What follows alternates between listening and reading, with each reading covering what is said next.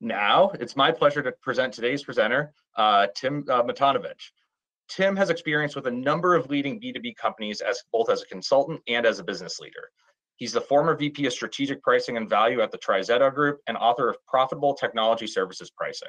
As Chief Enlightenment Officer at Value and Pricing Secrets, he helps commercial leaders get the most out of their value and outcome-based pricing strategies. So with that, Tim, welcome. Well, I'm happy to talk about outcome-based pricing. It's been an interesting conversation for me uh, uh, over the past decade with a lot of companies.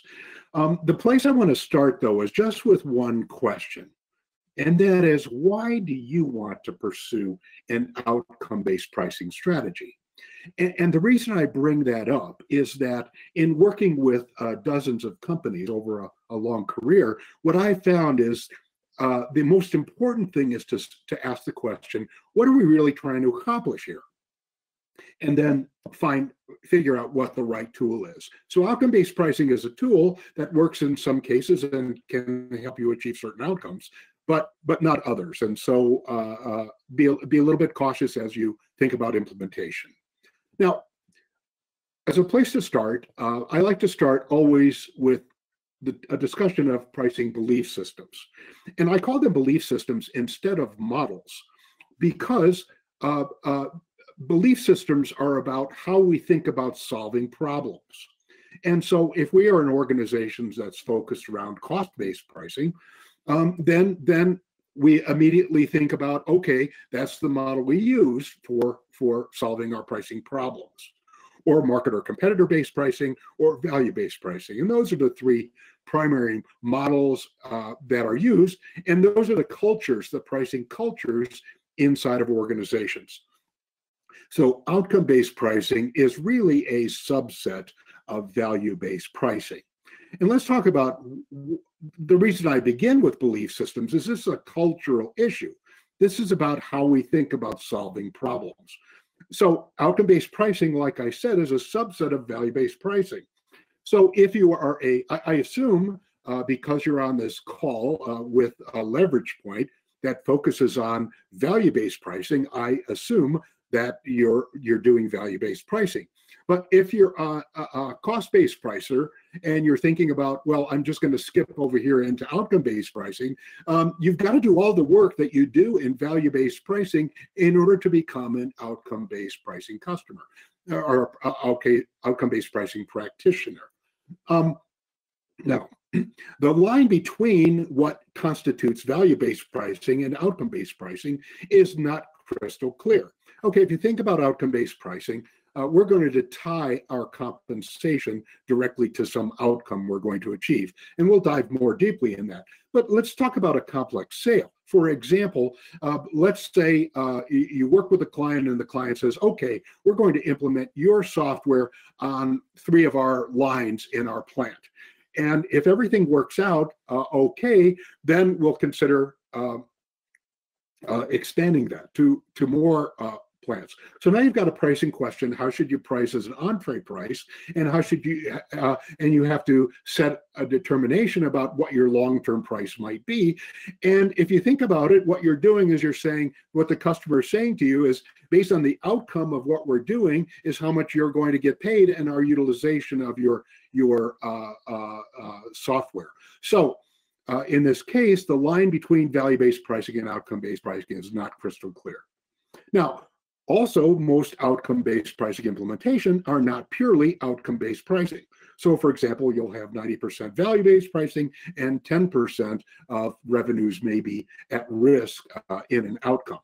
And the final thing is that services are absolutely critical to success when it comes to outcome-based pricing. And many companies don't know how to value price services, they underestimate service requirements and costs and can get underwater with it or or even worse um, they try and constrain the amount of services they provide and as a, as a result torpedo um, their their business in the long term and then finally they lack service sales expertise and incentives. And this last one is really important. We've seen this in company after company after company companies may, may have a sales force that's really great at product sales, but but those people uh, very often don't do a good job in services. So very often we see a service overlay, uh, kind of a uh, as a minimum, as a way, uh, a service overlay sales organization uh, to promote services. But again, this is absolutely essential when it comes to outcome-based pricing. Now, let's talk about the uh, business impact of pricing models. Um, this, this data actually comes from an analysis uh, called the TSI market rate study of 24 professional service organizations um, that are embedded inside of technology companies. And what we could see uh, within those organizations is that as they moved from cost-based to market-based to value-based pricing, the net income of those professional service organizations improved. And so the question I'm going to ask you as you think about outcome-based pricing is what is the um, premium that you must capture in order to justify the incremental risk that you may incur as a result of tying your price directly to the customer's outcome. Now, the place to start here is what are outcomes? And we're talking, you know, as I said, you know, it's a it's a uh, subset of value-based pricing, but value is not equal to outcomes. Value is the monetary impact on a customer's business. It's measured in dollars, in in euros, in yen, um, and you know if if you're using uh, LeveragePoint software, and you'll see in there that it says um, that you have to define value drivers. Value drivers are, are, are the value, the monetary impact on the customer's business and how that how uh, uh, how you monetize uh, the benefits that you deliver. But outcomes specifically are the measurable impact of the benefits you deliver that correlate with the value delivered.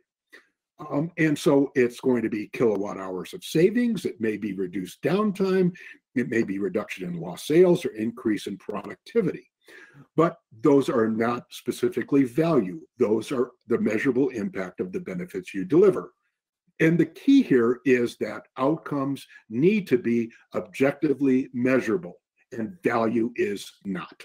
Value is virtually never uh, objectively measurable, and you'll have different managers inside an organization who will say the value might be different. As you know, if you're doing complex B2B sales, you know, everybody in, inside the organization will value what you deliver differently. And that's just something you have to manage uh, during the sales process. So the point is, is that if outcomes are specifically objectively measurable impact of the benefits you deliver. Now, let's talk about outcome-based pricing specifically. And on the left-hand side, so I'm going to talk about what it, how do I characterize it, what's the approach, what's the necessary information, what is the rule for success, and who would be the typical manager inside of your organization that would have ultimate responsibility for outcome-based pricing. Now, so what outcome-based pricing is, it's value-based pricing applied to a single customer, where your price is tied directly to performance. So the approach is that you would collaborate. Oops, did I did I lose you? I just lost my screen. Sorry. Tim, I can see your screen. I can see your screen. Okay, outcome-based pricing, sorry. Um, so the approach is to collaborate with the customer to estimate your expected outcome and deliver a price metric. Um, and so, so there's this collaboration in terms of approach, and you agree with the customer on a formula for payment based on that metric. So the necessary information is really, really deep knowledge of the customer's business. That's the foundation. If you don't understand the customer's business in depth, you do not want to do outcome-based pricing. Then you need to have confidence in your and your customer's ability to perform and confidence in your customer's willingness and ability to pay. And I bring this up because, for example, uh, one of my friends is a consultant that always proposes an outcome based pricing uh, model for his consulting clients. He'll say something like, uh, will, will uh, uh, you can uh, pay us our normal fee of $200,000 for our consulting work, or we will take all the risk and we'll get paid at the outcome, but you have to pay us a million dollars.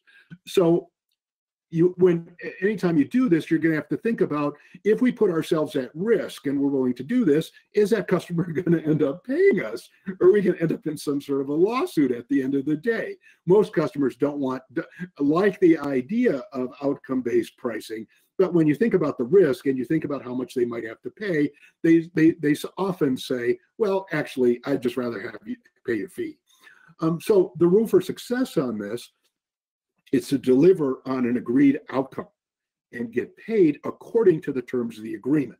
Now, I, I make it a point here of more may not be better. And I want to go back to a really old example that's a simple example but makes my point. Um, if, if we're talking about industrial solvents, for example, that are used to clean equipment, if, if the solvent is too weak, um, then it doesn't clean the equipment and the repairs go up. If the solvent is too strong, then the equipment, then it can erode, for example, the seals on the equipment, and again, causing increased maintenance requirements. And what you want, so it's, it's kind of like the three bears, what you're looking for here is the porridge that's just right. So your outcome may not be uh, something that's better and better and better, but rather it may have to do with more precision um, around uh, around a particular point. And finally, there the typical manager here that runs this inside of your business that needs to be responsible for this is that it's a it's a strategy driven kind of uh, pricing approach. What I mean by that is you're putting the business at risk by doing this. So it's not specifically finance or product management or marketing or sales. Now, so the way I like to summarize all this is outcome based pricing is the strategy for strategic partners. Now, we've all seen um, one of the most uh, abused words in pricing. And we hear this all the time in sales, right? This is a strategic customer. So we need to treat them differently. We need some sort of an exception. And, and frankly, executives in many organizations are absolutely the worst at this. You know, uh, they, uh, but so when you think about outcome-based pricing, the question is, is this really somebody that you want to climb in bed with, and you're willing to to uh, uh, be that way with? So thinking about who your target customer is is really vital in outcome-based pricing. Now, I'm going to use, uh, go through a couple of examples here. And in both of them, you'll see kind of where what I said earlier was sometimes the the uh, line between value-based pricing and outcome-based pricing is not that clear. And so what you'll see in both of these cases is uh, is is that that scenario. These are both real case studies that that I've worked on, and these are both um, uh, uh uh, have been modified or, or anonymized um, so as not to reveal the real details of the, of the individual cases. Um, so the first one is for something called SalesMax 2 Systems. Now, this was for a company that provided uh, software for automobile dealers. And uh, there are different parts of the automobile dealership. There's there's the maintenance bay, there's um, there's used cars, there's new cars, there's inventory. Well, SalesMax is for the front end of the dealership. And so the idea here is this was software that was intended for use by the salespeople and other people at the front end of the dealership in order to ma maximize revenues at the time of sale of new cars. Now, we used, in order to evaluate different pricing approaches, we used uh, something called a discrete choice research. And many of you, if you're value-based pricers, and again, I assume many of you are because uh, you're using LeveragePoint or, or considering it, um, discrete choice research is an excellent tool that can be used in order to evaluate uh, different approaches to value-based pricing. Discrete choice research allows you to um, uh, it's an experimental approach that permits you to create an economic model whereby you can test alternative approaches. Now, on the left-hand side of this table is the alternative pricing strategies. So the first one is single price site-based. this was the existing model for pricing of this kind of software in this uh, in, in this uh, two car dealers. And so it's 2,300 bucks and it was site based. So basically, if you were a dealer and you had uh, five dealerships, then each site would pay 2,300 a month for, for the software.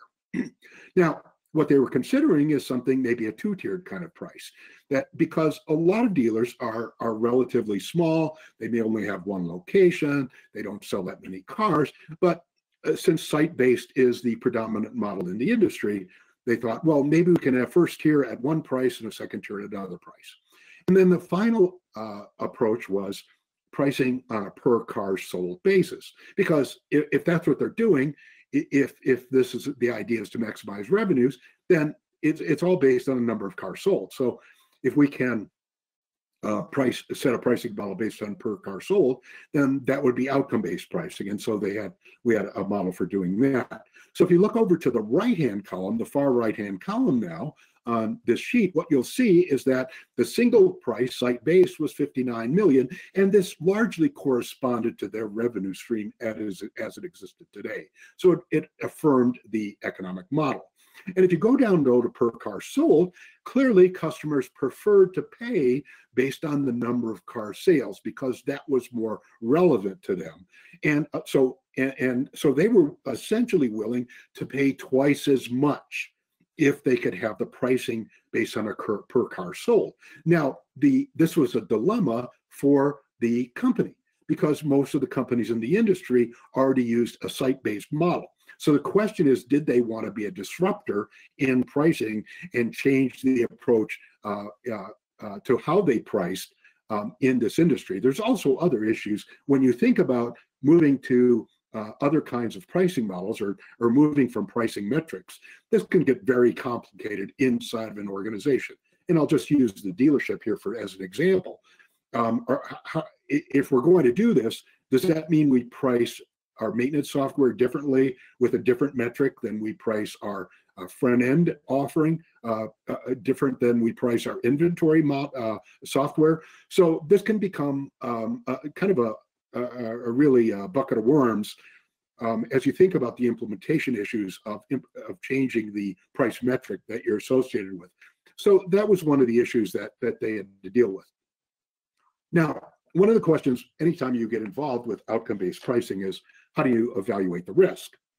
And the answer is, in this case, what we did is this was uh, done in about 2014, 2015.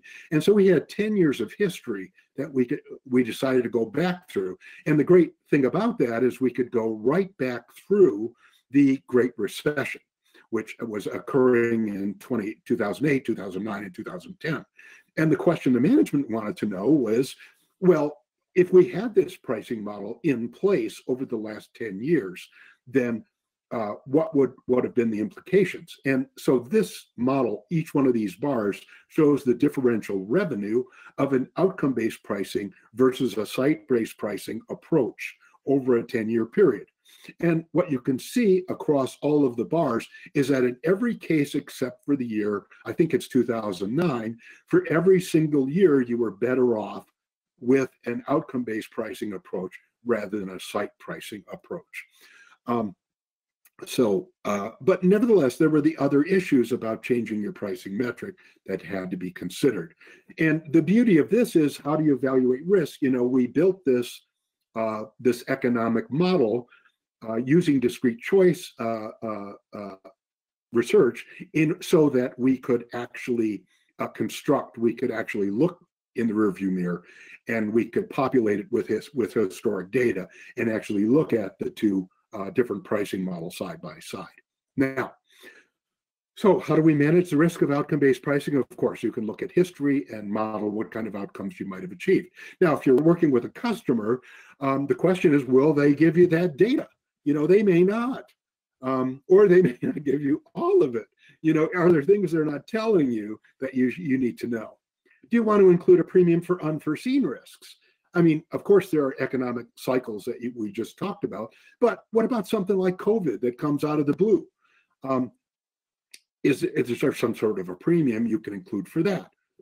Um, instead of going all the way to an outcome-based pricing approach, can you use value-based pricing and a price metric to approach outcome-based pricing?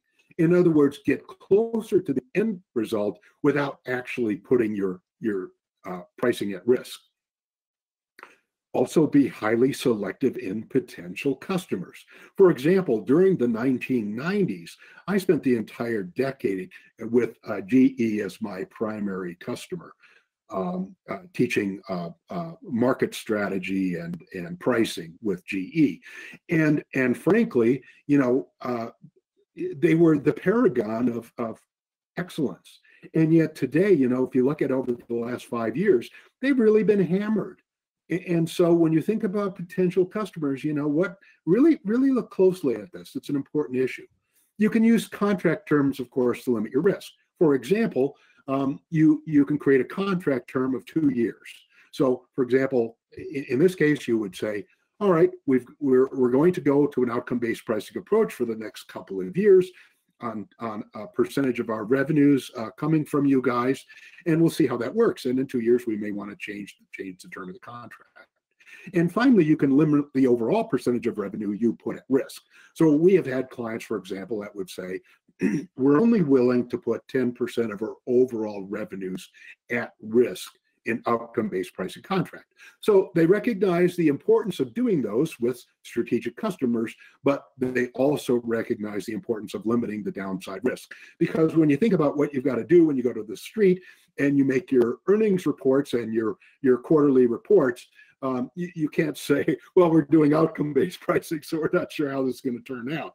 So you you can't uh, be uh, you can't put that much of your revenues at risk. Um, now I want to shift from more of a product example to a managed service example. And managed services um, are those that where, and this, this can, this is done in aircraft engines, it's done by chemical companies and other manufacturers and, and often done with software. And there's a real shift in responsibility in managed services. That is, um, you're going from the health of the infrastructure and application under management from the customer's responsibility to the managed service provider. And this is this is probably where outcome-based pricing is utilized the most and has been utilized for years and years the most. Um, and so outcome-based pricing opportunities are especially important with managed services because customers are willing to talk about what the risks are, what they cost, how they should be shared. All that can be can be had a conversation of they their focus is squarely on outcomes and your business your responsibility is to say look we can get you this outcome we're better at it than you are and so customers are inclined to be less price sensitive because they can see that you're both in the same boat paddling in the same direction toward a common outcome and you can lower your costs and sustain your prices over time as long as you keep delivering on outcomes. Now, that's all good news. But there's an important caveat. The services and products are different. With services, you don't make a service sale and established value at the front end like you do with the product sale. With services, it only works and you can only get paid like this if you keep making the value case over time. And let me illustrate. Okay, so you've sold into a company this managed service program and you've gone, you've done your two year contract, you're at the end of the term, and you're looking at renewing the contract. And what does your client say? Gosh, you've got everything spinning like a top here. Man, all the metrics are great. All, all the numbers are great. Man, we're meeting all of our cost, cost uh, goals. Everything is great. So the question, uh, shouldn't we be lowering your price now since you've done all the work? And that's often what happens at the end of these kinds of contracts. So the point is, is you've got to be reinventing your value speech. You've got to be reinventing the, the ways in which you create value so that at the end of the contract, you're able to make the case again for why they ought to be paying for your service value. So unlike product value, service value must be proven and sold again and again and again. Now, uh, one of the reasons that companies decide to do this with managed services is for the point of competitive differentiation. That is to say, oh, sorry, that is to say, other uh, competitors won't do what we will do. We are willing, to, so you're willing to do outcome-based pricing is in fact an important element of your competitive differentiation. You're saying we're willing to be at risk, and as a result, we are we are uh, uh, that's why you should choose us. So in, this is a case that that has to do with uptime. And so the categories of service are what kinds of functional components does the does the uh, uh, customer have that need to be uh, uh, we need to resolve? Um, what are the number of downtime options we want to offer? How many subscribers do we want to offer or users or whatever the metric is there? And, and are we willing to commit to SLAs with a downtime penalty? SLAs, service level agreements. I assume most people on the call will understand those. Um, so we've got our company versus our competitors. And in this case, what we've decided to do, we're going to offer more downtime options. We're going to offer a lot of subscribers, and we're willing to commit to SLAs with a downtime penalty as relative to other competitors, including our in-house support. So again, one of the reasons to, so the point of this is that one of the reasons to um, use outcome-based pricing is for competitive differentiation. Now, um, if you're going to do this, then uh, here's here's what this might look like. So on the left-hand side is an availability percentage. So this is the kind of uptime you're willing to commit to. And so there's four different levels of uptime. And then on the right-hand side, and, and what you'll probably find, by the way, on the left is that different kinds of customers are willing to commit to different levels of uptime.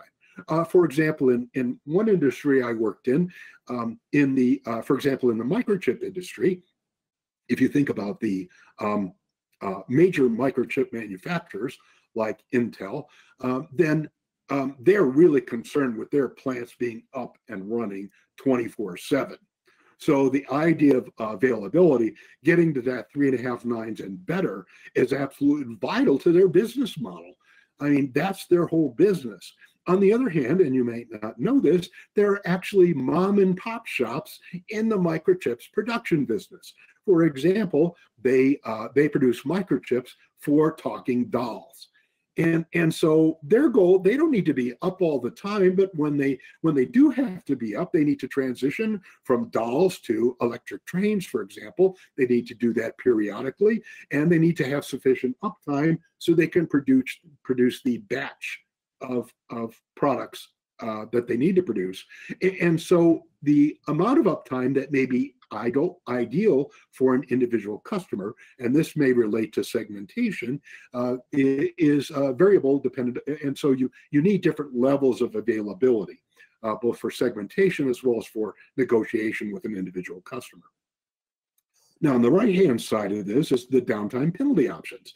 And they can be, they can range from none, but we're going to take a note if we do have some problems so that we can fix it, all the way up to if we're down for 30 minutes uh, during the course of a, certain period, then we lose $30,000. So there's a variety. And the point I wanted to make here is that you need to think through this in advance. And that's really my, my point. The number one rule in negotiation is uh, know when to walk away, right? Anytime you're in negotiations, because once you get into the excitement of the process, then, then, then, you know, you're going to bet the farm and, and, and, you know, things can go sideways on you pretty fast. When it comes to outcome-based pricing, you know, plan your outcome-based outcome options before you start, before you walk into uh, your client's organization. You know, what do you think might be doable? What are the options we want to consider? What are the penalties we want to consider? Have we done an analysis that so we understand the financial risk that we're putting the company in if we were to do this? Have we used our own data to look at some history about what what my, our options might be? So the, the, the idea here is to plan your outcome options before you start. So in this case, now coming back to the, the point I was making earlier, if you're going to plan the outcome options before you start, now you're talking about sort of shifting more toward value-based pricing away from outcome-based pricing. You're trying to say, you know, uh, we understand our value here, and yeah, we're willing to put some at risk, but we want to we want to give you discrete options that you can choose from, which is exactly what you do in value-based pricing. And, and so you want discrete options that are each profitable, and and you want to understand your risks in each case. Now, um, okay, closing thoughts. As a subset of value-based pricing, outcome-based pricing has all the advantages and disadvantages of value-based pricing, but they are applied to a single customer. And so in some, some ways, it makes value-based pricing easier because you're only thinking about what can we do with one customer. Uh, on the other hand, uh, you are talking about putting yourself at risk. So that makes it uh, more complex and makes your, your analysis beforehand more important. With outcome-based pricing, you know, the big decision is whether this is a customer you want to get in bed with. And uh, and that that's that's absolutely vital.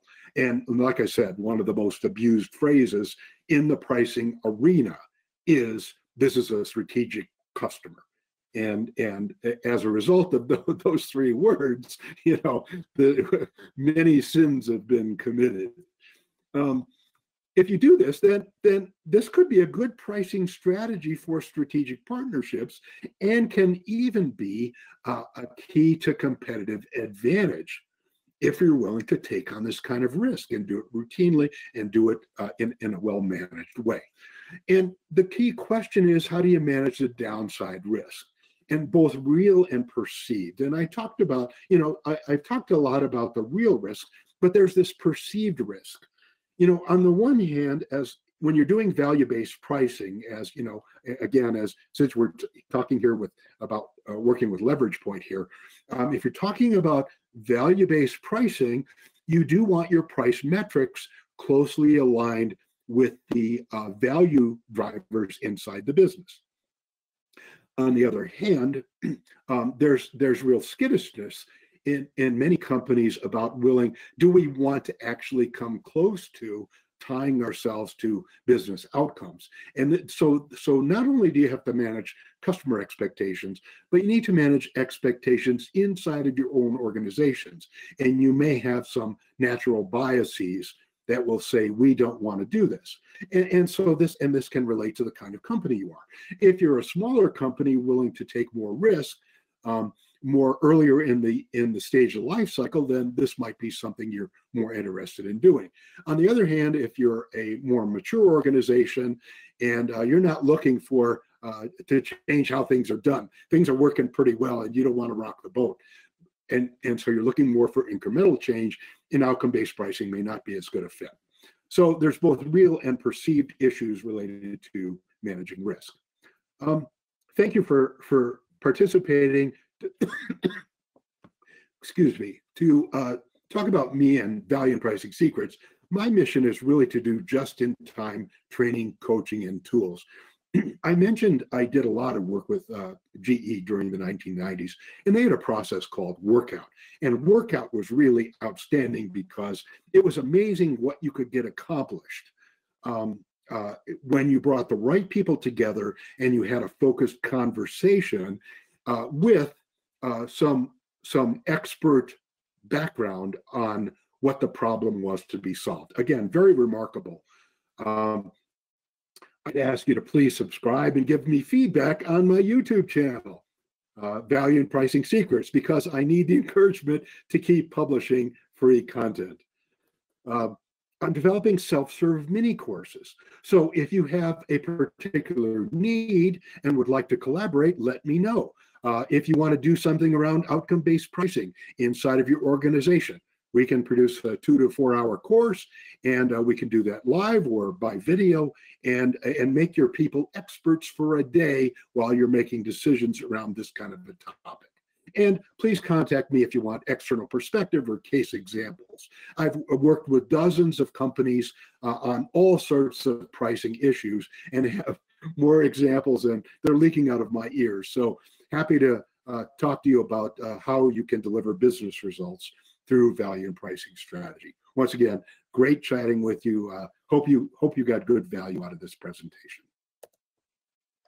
Thank you, Tim, for sharing all of your insights. And um, like you mentioned, in addition to checking out his YouTube channel, um, I would also encourage you to follow up on the exit survey. Um, there's a checkbox to if you'd like to follow up, um, if you'd like him to follow up with you. So um, we can make that happen by just one click of the button. So um, check out that survey at the end of the session.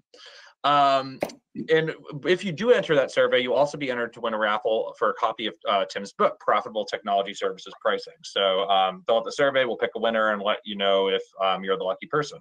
Um, so just to give everyone a couple minutes to enter the questions for the Q&A session, um, it's my pleasure to introduce Brian Hannon. Um, Brian's VP of Sales here at LeveragePoint, and um, he's going to share a little bit about how our cloud platform can help support sales teams better engage in these outcome and value-based conversations. So Brian, I'm about to pass it to you. So take it away whenever you're ready. Great. Thanks, Nick. Uh, and thank you, Tim. Um, we, we do talk uh, with our customers about outcomes-based pricing uh, a lot. And certainly, you know, Tim, Tim mentioned it, there, there's there's really evaluating a whether you want to do it at all which as tim mentioned it's, it can be highly profitable uh, but it also can be risky. And so part of what our platform does is it allows customers to really sort of using the the math and quantifying things sort of prove to themselves whether this is something that they uh, that they want to embark on. Uh, and then the second area really is figuring out uh, which customers it makes the most sense for and you really have to go beyond the math to do that. Certainly the math is, is important, but there are other uh, criteria, as Tim mentioned, that are important if you're going to engage in this type of uh, a pricing strategy with customers. Uh, but really, a big part of that is communicating that to those customers. So if a customer is going to consider making a shift in the way they do business with you, they need to understand A is, is going to benefit them. And they really need to understand the details because Sometimes it sounds too good to be true. And um, if they don't understand the, the details of what's happening, they probably won't trust kind of making that big of a shift. So the other part of what LeveragePoint does is being able to communicate that information directly to customers in a way that helps them become part of the process so that, that you're you're making an offer and making decisions with them really as a partner versus sort of sending them a proposal for a outcomes based pricing engagement and just kind of hoping you get a yes or a no because uh, I think that's pretty much going to lose every time. So I'm just going to show you a quick example of uh, LeveragePoint here. And I'm not going to go into a detailed outcomes-based pricing example. We're happy to do that with people who are interested. So uh, if you want, you know, feel free to contact us or a demo request, and we can set up a session to do that in more detail. Uh, but just to sort of tie into what I just mentioned, uh, LeveragePoint allows customers to create value models, which can embed in both the value that you're uh, potentially providing the customers with your solution, but you can also embed in sort of decision tools to allow you to determine, hey, based on the customer profile, would this conversation about outcomes-based pricing even make sense. So this is an example of a very simple value model within LeveragePoint that can be created and then used to communicate internally, really, about, hey, uh, are there certain uh, segments of our customer base where this makes sense based on the value and based on the particular drivers that we could, you know, try to get, uh, you know, involved in an outcomes-based pricing discussion. Um, and, and so that decision-making tool is available here. But you can also then embed in this, uh, this value model into a value story. So what I'm showing here is an example of a value story that can be used directly with customers. Uh, so here we have a fictitious company called Airventus. And um, the people who've seen our value stories uh, a few times start to notice that we really sort of work in these kind of chapters. Uh, so uh, all the stories have different types of chapters, but those chapters keep coming up again and again um, and, and, can be used over again. This example here, we have an early chapter where a uh, this could be a salesperson configuring a system on their own. So this could be hidden from the prospect because they really don't want to uh, involve the prospect in actually creating the offer, but you could, in some cases, maybe create the offer with the prospect so that they can kind of see the process. So here, Airventus is a high-end heating and cooling uh, equipment manufacturer, and uh, maybe the salesperson is actually creating this with the customer, uh, you know, live and showing them sort of how the the offer uh, can be created. So then here we can provide some detailed information about, okay, here's the offer that you and I just created. I'm gonna turn off the highlighting there. Uh, and maybe we start to compare that to a, a comparative system from a competitor. Um, or this comparison could be, here's the offer that we created and here's our traditional cost for that offer. Or here's a potential outcomes-based pricing offer and it would allow the prospect to see the differences and maybe make some changes to the numbers to see how those differences would uh, would roll out through a proposal. The great thing about having a value model included here is you can actually create gates within a value model so that uh, you know there's certain types of situations where outcomes-based pricing wouldn't make sense at all. And so a value model can limit the types of scenarios that you create so that essentially you don't get yourself in, you know, in trouble in front of a prospect. And again, I, we wouldn't assume that you'd be experimenting with this in front of a prospect. It's something that you would try beforehand and make sure that the prospect would see a proposal and a presentation that would make sense. So the first set of, uh, first chapter here could be sort of a configuration and some uh, information about costs. We would then potentially go into a value chapter. So now we have three key value drivers that would be focusing on. Uh, you'll also notice, and, and, one thing I heard Tim say, which is important, there are certain value drivers that you would never want to include in an outcomes-based pricing proposal because too many people might disagree on what the, the data is.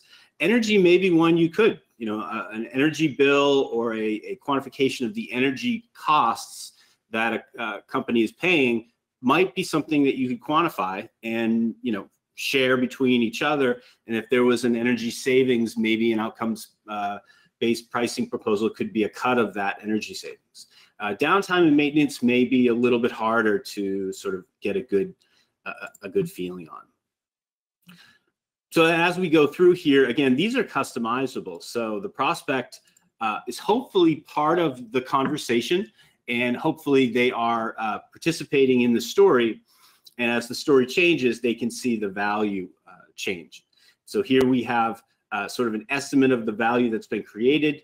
We dig down into each of the value drivers here to uh, make some estimates on what the value uh, would be if they went ahead with a, a, system.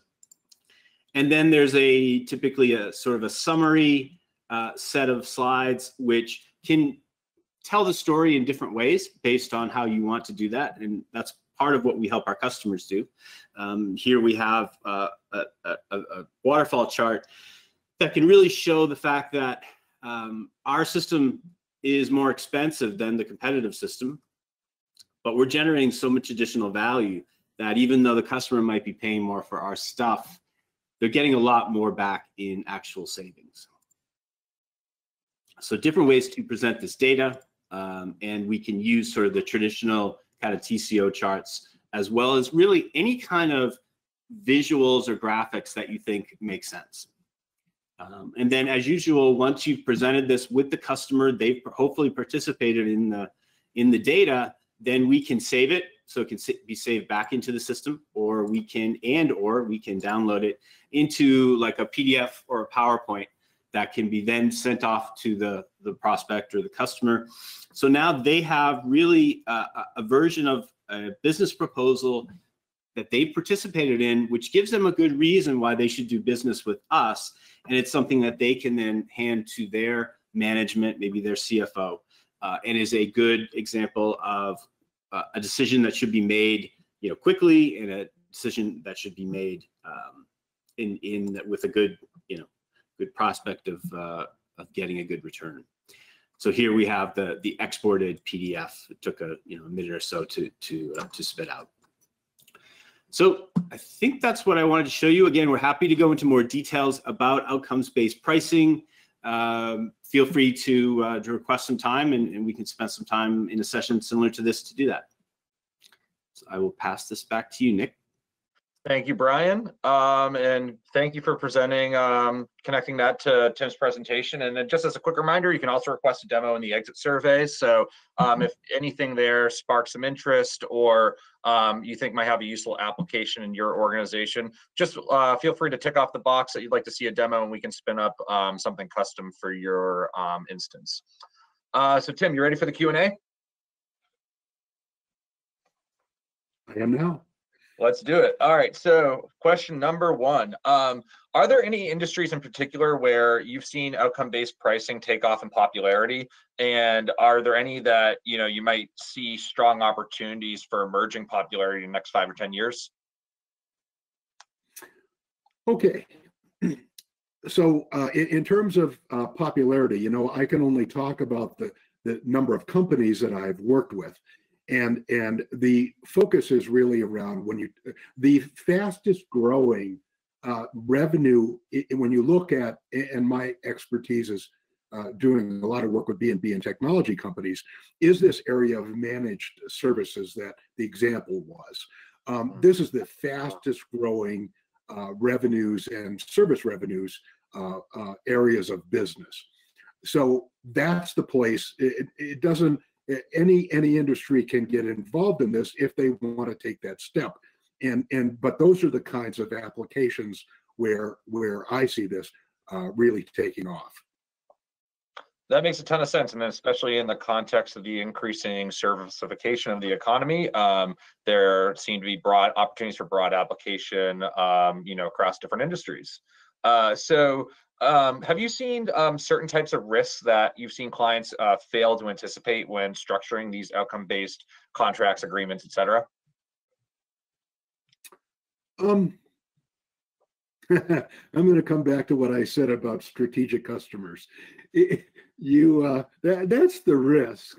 I mean, I was I was delivering a seminar for the American Marketing Association a number of years ago, and I was talking about the economics of discounting. And, and you know, we've got a lot of people here that do value-based pricing. And, and you can understand, you know, that a, a 1% uh, uh, discount in price can very easily translate into a 5% uh, cut in profitability.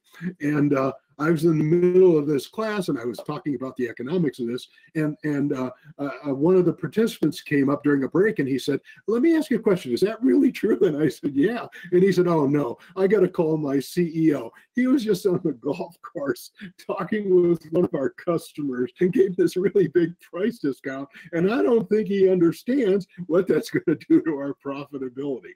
So, so that's the that's the one is is that take a very hard look at who you want to get in bed with and then look at the economics of the decision before you do it um, uh, it, I, I, more than one company I've run into have, have, done done a pricing decision, and then you know two years later their costs are under they're underwater, their costs are higher than expected.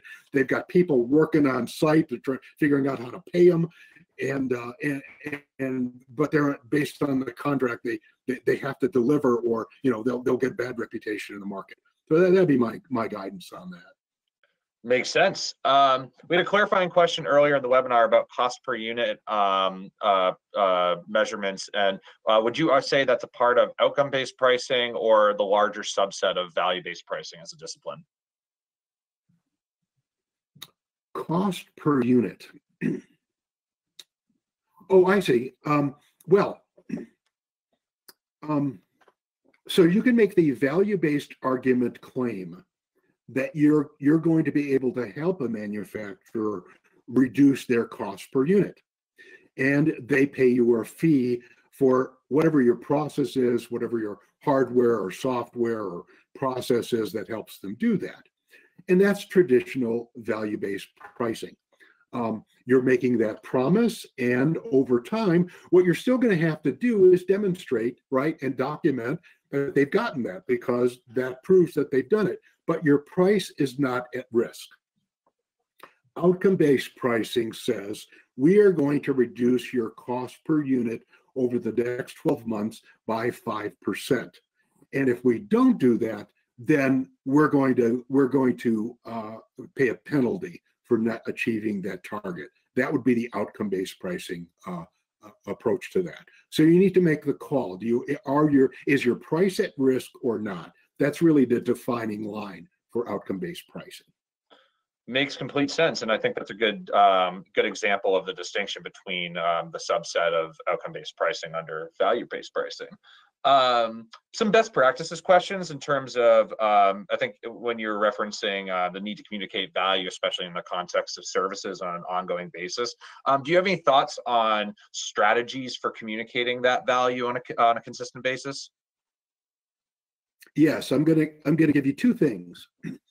the first one is um, I recently uh, took my son's. I had to help my son uh, get his car repaired. He needed new brakes, and uh, when I drive down this road near his house, I see car shop after car shop after car shop, and and you know, uh, so I had the choice of literally dozens within a mile of his house about where to take his car for being repaired. But as I drove down the street, one of the uh, one of the signs on the street uh, uh, had a display, right, uh, uh, a crystal display, and the sign said, "We have 1,250 five-star reviews from our customers." And after I saw that sign three or four times, and then they said during uh, during 20 2021, so far the first half of the year, they've got another 150 five star reviews. And so this was something I could say, look, all these people are going to charge about the same thing, but you know, this is really relevant to me. How do I distinguish between 20 different auto shops? Well, the answer is obviously this has got a lot of satisfied customers, and so I would trust my car, my son's car to them. So, so that's a very practical example. The question becomes, what is relevant and meaningful to your customers right away. Now, the second part of that, and that can apply to products or services. Second part of that, to answer that question, is that um, in services, you need to continue to maintain uh, the value. And so there is there are tip, there's what's called the LAER model, and some of you may have run into it: land, adopt, expand, renew. And the idea is that during the sales process, you go through these four stages. And this not this applies as well to products that are sold as a service, as well as uh, a pure services and some combination. And, this is bottom line for you. If, if you're adopting a as a service model of pricing for your products and your products, then you are moving to a services business you cannot treat your products uh, as products when you move to a SaaS model. So uh, if you want to talk to me about that, call me and we can have a conversation. that's a little off point, but but I, uh, it's an important point if you're thinking about a SaaS model. Now, the LAER process. What it recognizes in an as a service environment uh, is that you're going to go into a client. Let's say you're you're bringing uh, a, a new software to market or bringing a software product to a new customer. And the customer says, "Yeah, I'm willing to try that." You know, you'll get the functional manager, say, say the marketing manager says, "Well, yeah, I, oh, okay, we'll use leverage point." we'll say LeveragePoint. You know, yeah, we like the idea. We think this is pretty good. The marketing guy says, "Yeah, this is good." Pricing manager says this is good. So we're going to try it. We're going to try it for the next six months with this particular business unit. And if this works out, then we're going to move it to the next to to a, a, a, a, or move to the next level and maybe expand it to a second or third business unit. Now, if you do that, then what do you have to do? You, you the question is what price you're going to charge at the front end, and typically you're going to want you may want to say, well, we're gonna we're gonna do it uh, a lower price at the front end to get this trial. Now, the problem with that is that you don't want to set yourself up for this price in the long term. So there's got to be a conversation at the front end as we're doing a trial, but this is our ultimate pricing that we're going to get to. So you need to get that confirmation up front. Then you move into an adoption phase. The adoption phase is where you make or break in that trial. So your services, you may be underwater with services during the adoption phase because you're trying to persuade this customer that this is really good stuff and they need to use it. So then you get the adoption. Then you've got to go to the expand. Now, what, what the expand is, okay, now we're going to roll it out to business unit number two. We'll roll it out to business unit number three, roll it out to business unit number four. And then finally, after the course of your original contracts, at some point they're going to say there's renewal, but then they're going to say, well, you know, everything's working really fine. Do we, do we really need to pay you this much money? And so this is the this is the four stage process. When it comes to services, that's the way you need to think about it. You need to think about it as a long term kind of sale that you've got a number of sales interventions and you need to make sure your salespeople are capable of making that sale and you need to make the make sure the incentives are aligned with that kind of a sales process. Sorry if that was a little bit long-winded. No, that actually, um, I think you answered another question I had ready along the way. So um, that's that's that's perfect, and I'm really glad you brought that up because um, that is something we talk about here at LeveragePoint all the time. Is um, in our in our world we would call these value conversations or value stories, and the importance of having these not only during the sales process but also during the entire customer life cycle, right? Because it's uh, it's it's really all about, especially in a world where we're become there's more services and everything and SaaS is becoming more popular. It's so much, it's so important just to have those value conversations on an ongoing basis, just to you know really convey the value that you're delivering. So um, I'm super glad you brought that up. And, and and to add on to this, the, the concept of value stories is really a powerful one because um, in in some cases um, customers understand the value. In, in many many cases, they don't know and so your ability to communicate that, your ability to tell the story in a convincing way is really vital to that, uh, vital to your ability to capture the price. Because there's not only the actual value delivered that you can demonstrate in a model, but can I get behind this? Can I relate this to people in my organization? Can I take your presentation and travel with this presentation to other people in the organization and they'll get it? So, so those are things that come to mind and, and why I think value story is really important.